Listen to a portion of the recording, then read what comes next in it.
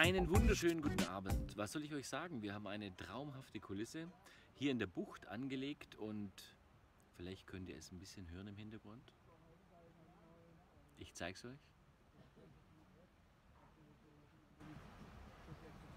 Also was ihr hier seht, sind natürlich die Handtücher, die zum Trocknen aufgehängt sind auf der einen Seite. Ich gebe euch die andere Seite.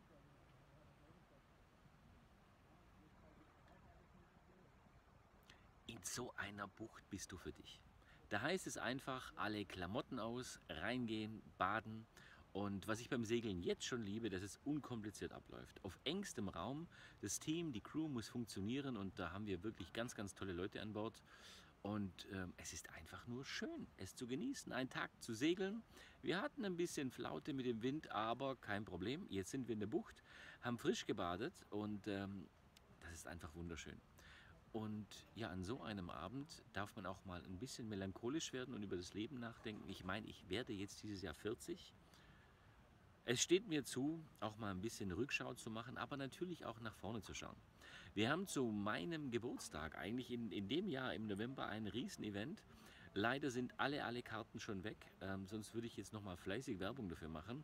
Lasst euch einfach mal äh, überraschen. Ich werde euch definitiv auf dem Laufenden halten und tief einatmen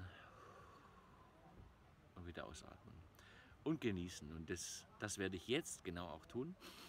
Ich kann es schon riechen, es gibt heute Abend Spaghetti und ich freue mich. Und äh, jetzt ab an den Tisch. Ciao, ciao.